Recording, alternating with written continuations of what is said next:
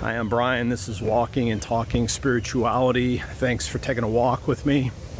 Over the last couple of months, I've been going back to some core texts of mystical Christianity. I've been reading The Cloud of Unknowing, which is from the 14th century, and through conversations with friends, has pointed to even earlier predecessors of that document and been reading the works of a person that scholars know as pseudo Dionysius, fake Dionysius, um, better known as Dionysius the Areopagite. Again, this was, I think, a Syrian monk, 5th or 6th century, who wrote under the name of a person that shows up in the book of Acts that Paul had contact with.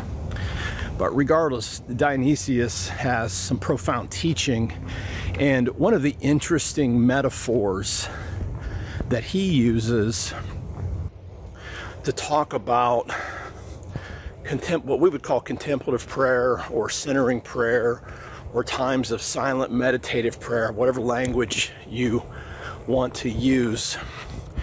He likens the silence itself as souls are trying to commune with God and God who exists outside of thoughts, outside of feelings, outside of uh, creation, the transcendent one.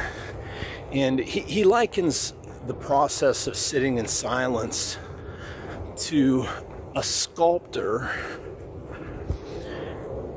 chipping away at a block of marble until the true figure emerges. I think I've heard it said that Michelangelo, when he was asked how he created his epic statue, David, he said, I just chipped away at the marble everything that wasn't David.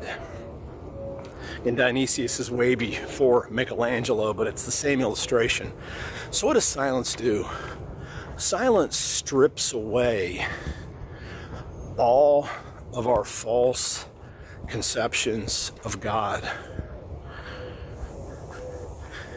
It also invites us to let go even of our really good positive conceptions of God in those moments of silence and just be soul to soul with the divine. It's a way that God removes all the idols from our lives. I call that a process idolotherapy and it's supposed to be a, a, little bit of a joke there, but uh, I, I, do call it that idolotherapy. So, sitting in silence, doing deep contemplative work is one of the ways that God heals us from our past because most of the time when we have false conceptions of God, it's really our own projections of hurt, scared parts of ourselves onto the divine. So silence removes that. What else did God? God also confronts us with sometimes uncomfortable truths about what we struggle with. Again, that can be outright sins. So the whole seven deadly sins tradition comes out of that. You get confronted with those spaces in your own life where those things still exists.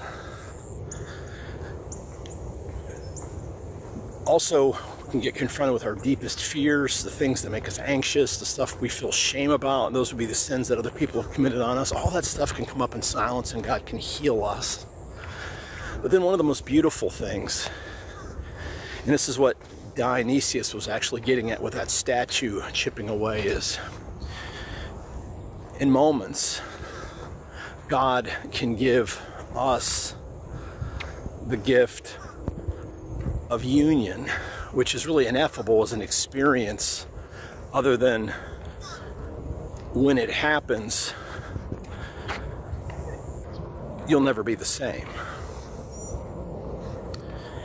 Again, if you'd like more information or want to get into a deeper conversation, please reach out to me. Till next time, live by faith, be known by love, and be a voice of hope to others.